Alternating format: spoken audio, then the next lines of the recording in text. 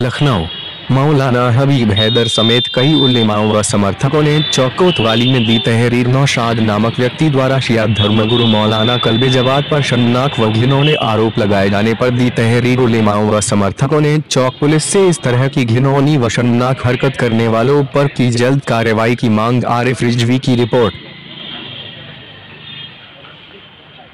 न सिर्फ़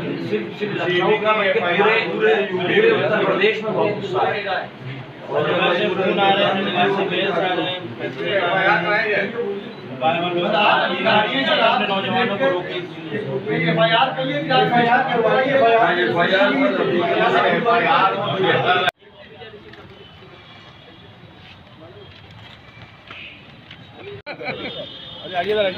हाँ ठीक है तुम आ जाओ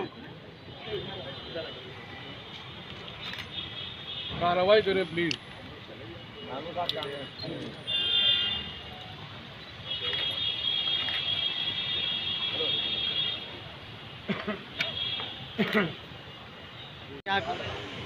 हम यहाँ पर आए थे ताकि वसीम रिजवी और उसका जो गुर्गा है उसका जो गुंडा है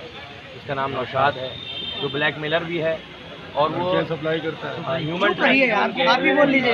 ह्यूमन ट्रैफिकिंग के काम में वो लिप्त भी है और बहुत सारे जराइम भी उसमें किए हैं। उसने हमारे धर्मगुरु मौलाना सैयद जवाब साहब पर बहुत ही घिनौने इल्ज़ाम लगाए थे, जो गलत साबित हुए हैं। कोर्ट ने उसे खारिज भी कर दिया था। और जिस वो बेटी की बात कर रहा था, उस बेटी ने भी एसएसपी ऑफ़िस में अपना बयान दर्ज करवा दिया और ये कहा है कि हमारा बाप झूठ बोल रहा है और वसीम रिजवी से पैसे खा के वो मौलाना कलम जवाब साहब को ब्लैकमेल करने की कोशिश कर रहा है। तो हमने आके उसके खिलाफ और वसीम रिजवी के खिलाफ आकर यहाँ पर एफआईआर की अर्जी दी है, ताकि माहौल ख़राब ना हो। हमारे जज्बात को उसने आहत किया है क्योंकि कलब जवाब साहब का सम्मान न सिर्फ़ शिया समुदाय के अंदर है बल्कि हिंदू हो सिख हो ईसाई हो हर समुदाय उनका आदर करता है बाबूलाल यहाँ पर आए हैं ताकि हमने